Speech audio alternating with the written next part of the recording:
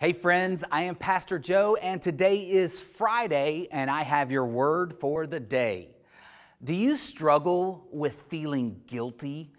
I mean, even after you have confessed sin to God or other people, do you, do you struggle internally? Are you overwhelmed with guilty feelings?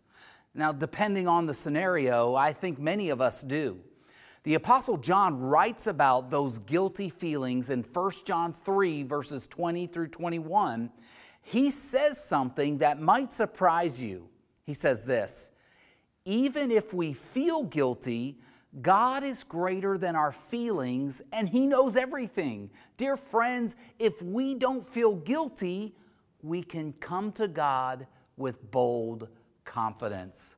Does it surprise you that God does not want you to feel guilty? It sometimes feels like, even in church, that uh, the pastors or the preachers, people want uh, others to feel guilty over their sin.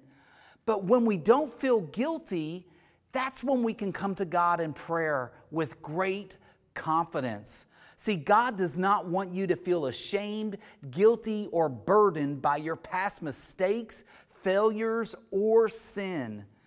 When you are forgiven for your past, you are forgiven. God considers it over. He does not hold your past or your sin over your head to shame you, and neither should you. So stop feeling guilty. Also, don't feel guilty about not feeling guilty. That would be even worse. As a follower of Jesus, God wants you to live this life with confidence and joy. Feelings of guilt are for those who are not forgiven for their sin.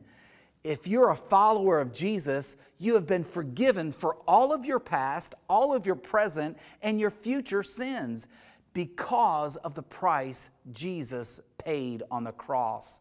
God is greater than your feelings. God is greater than my feelings. He sees forgiveness from His perspective, and He says about your sin, What sin?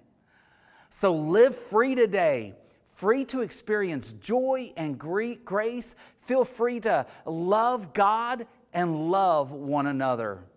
If the word for today has blessed you, like it, share it, and leave a comment. And I will see you this weekend at 5 p.m. on Saturday or Sunday at 8, 9:30, or 11. God bless.